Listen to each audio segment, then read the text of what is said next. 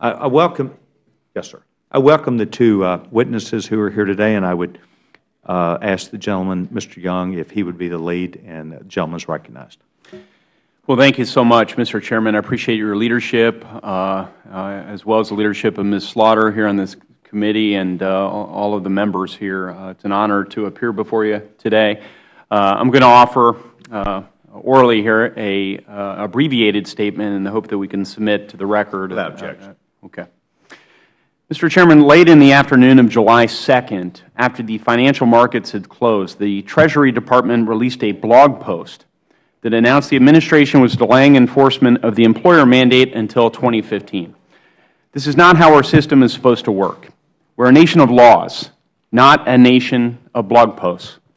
Congress writes the laws and the executive branch enforces the law. If it is wise to delay the employer mandate because it has become too complicated and burdensome, then the Administration should ask the Congress to delay the mandate.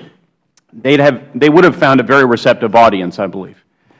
We've all heard from our local businesses and employers, uh, including colleges, uh, schools, local governments, about how the employer mandate was increasing costs and impacting hiring adversely. As H.R. 2667, the Authority for Mandate Delay Act, makes clear, the employer mandate is ill-considered policy, and we can and should come together on delaying its implementation for one year. But a government by the people, of the people, and for the people must be a government that is fair to all citizens. And it is fundamentally unfair for the Administration to grant relief to big business but not give individuals and families the same relief.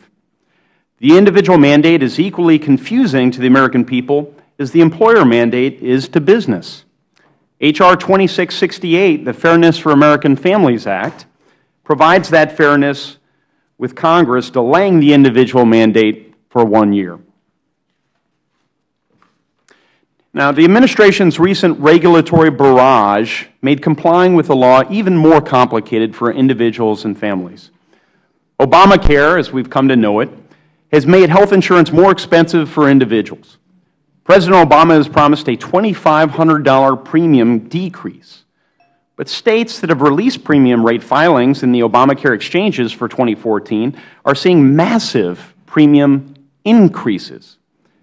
The bill I introduced, Fairness for American Families Act, again H.R. 2668, provides the same relief to America's families that the Obama administration granted to big business.